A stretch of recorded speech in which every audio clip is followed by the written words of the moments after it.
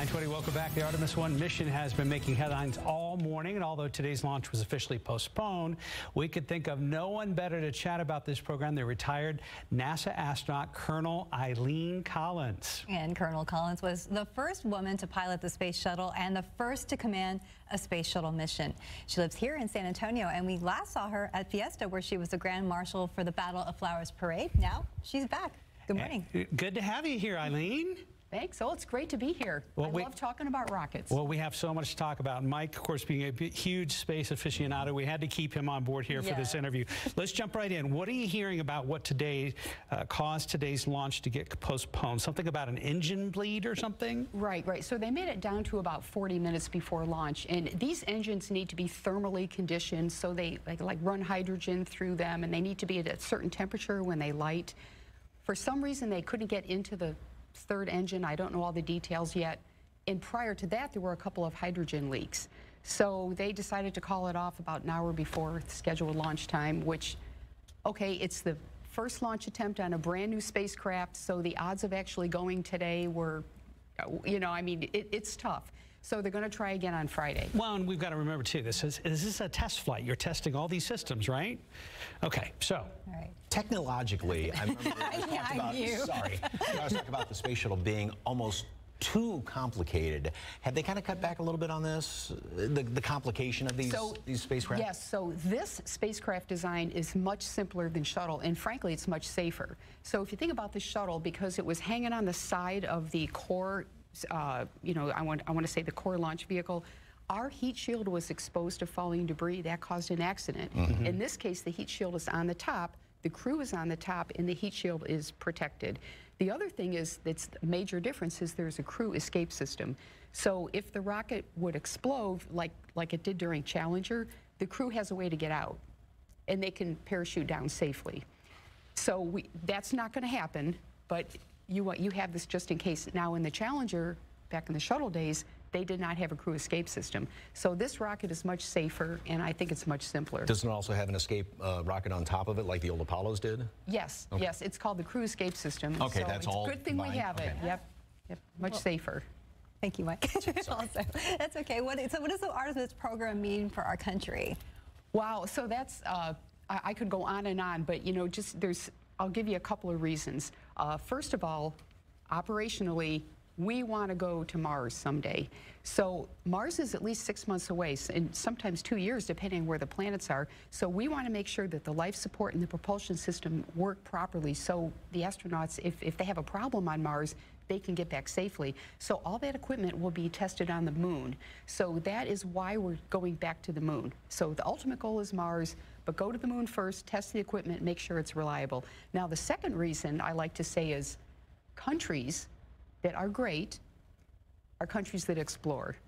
And we're going to explore the moon. China wants to go to the moon. We know they're going to do it. I hope we don't get in a space race with China, but I kind of see that coming. Mm -hmm. So the moon has minerals. The moon is a uh, stepping stone. You can do quite a bit up there. We want to build space stations. There's places, lava tubes, where the astronauts can live. We think there's water there.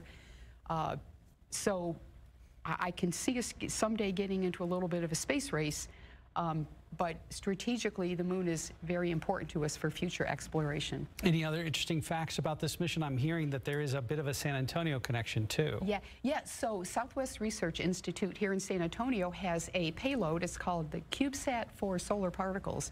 So they're going to release this CubeSat um, either on the way to the moon or while they're orbiting the moon, and it will study the sun and we have a lot of experiments going on, Southwest Research Institute included, that are studying the sun because we need to understand, you know, how is it affecting global warming, for example, and how is it, you know, what are the risks associated with, you know, things like coronal mass ejections and uh, this is an important CubeSat. I actually am, it's kind of one of my side things I like to do is figure out what's going on with the sun. So this one kind of jumped out to me as one of the, there's 10 of them, by the way, one of them being this CubeSat for Southwest Research Institute.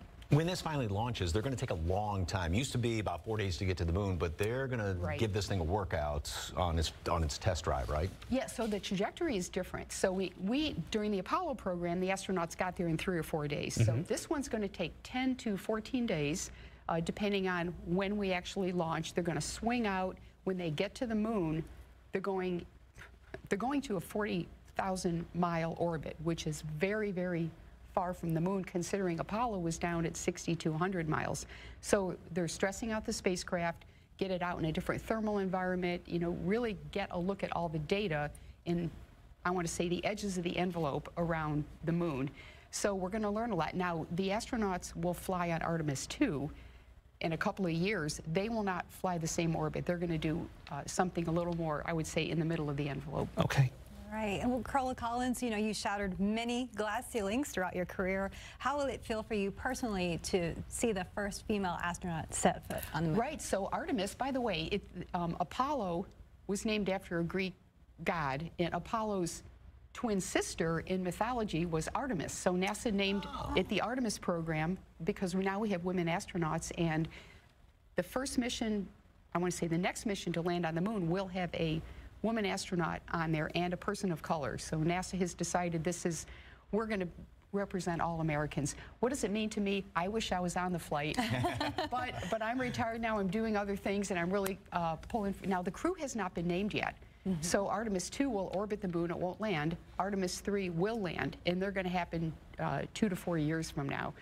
And NASA will name the crew after this mission flies. NASA will name the crew. So I'm excited for them, and you know I hope to uh, be in there cheering for him.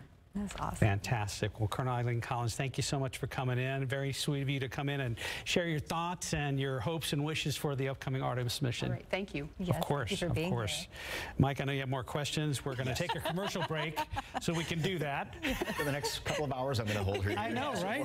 You won't let her go. It's called a, a kidnapping. yes. Just kidding. Uh, 927, 80 degrees. We'll be right back.